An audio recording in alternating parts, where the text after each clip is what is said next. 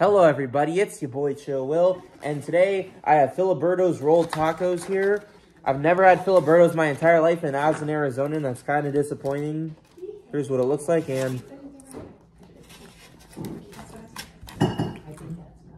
that was the beans. Here's the actual rolled tacos. I know this thing isn't gonna be as good as Papa Chavos, but nothing can be as good as Papa Chavos when it comes to Mexican food.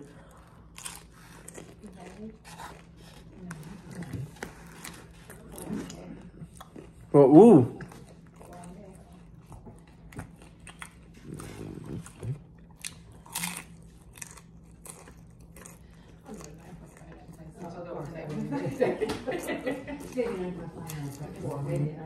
This is a pleasant surprise.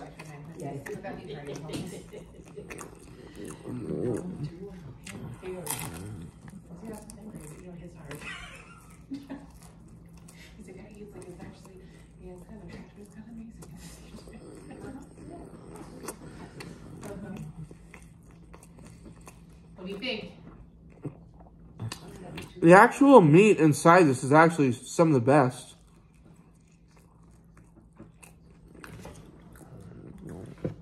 So crunchy to taste. I'll probably be on the toilet after this, but like,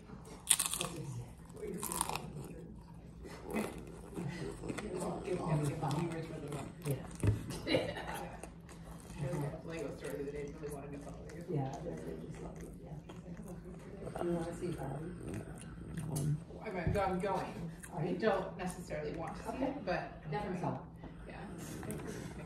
But I'm like you guys, it wasn't supposed to be that kind of. No.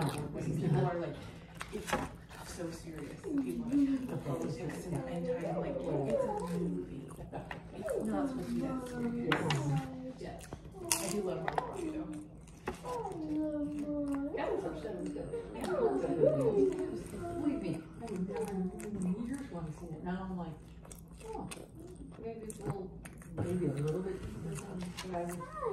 apparently, special like, but I'm gonna like people see it.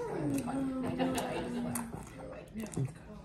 overall, I'd have to give it a 9.4 out of 10, maybe 9.3. Not as good as Papa Chavos. Papa Chavos just has that. I think they kind of go equal, actually. They're actually pretty great together. Like, they're pretty equal, so I'd have to give it like a 9.5 or 9.6. I'll stick with a 9.4, actually. That'll be my review, and eat her, my homies.